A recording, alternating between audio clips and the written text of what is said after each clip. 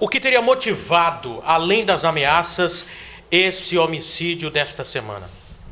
O medo, que é um sentimento, às vezes, necessário no ser humano, que ele nos protege em muitos momentos, mas, na maior parte das vezes, é um sentimento temerário.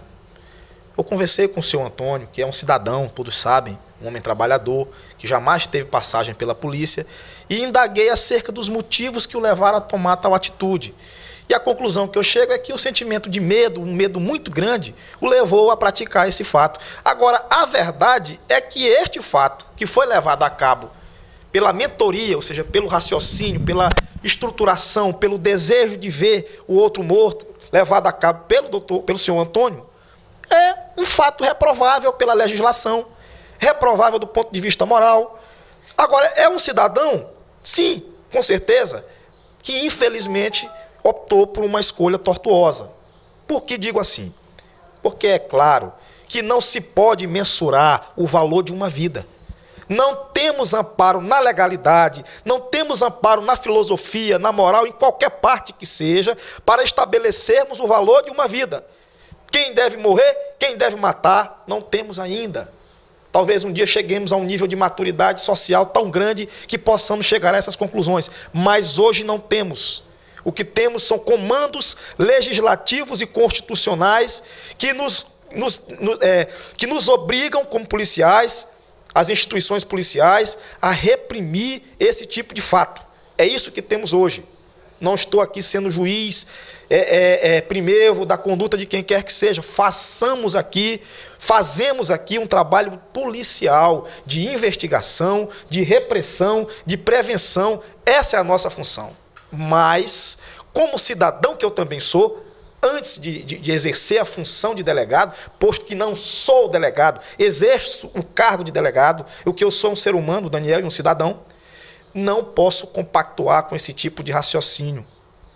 No dia em que perdermos as rédeas, no dia em que consentirmos, pelo menos numa conjuntura atual, em que um cidadão possa, em nome da justiça, em nome de qualquer princípio que seja, mandar executar outro cidadão, embora seja um criminoso, mas também com direitos e garantias resguardadas pela lei.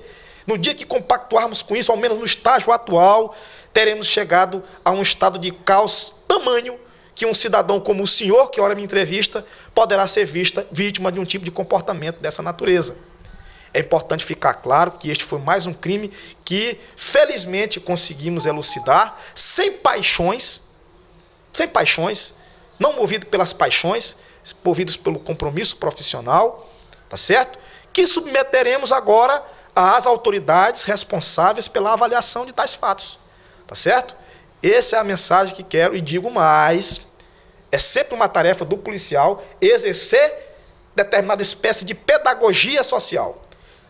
Existem crimes tipificados no Código Penal que reprovam a apologia à prática de crimes. Portanto, se o sujeito vai para uma rede social e diz que deve se matar, deve se fazer, ele está submetido ao crivo da legalidade e nada impedirá que possa ser responsabilizado por fazer apologia, ou seja, por propagar e incentivar a prática de delitos.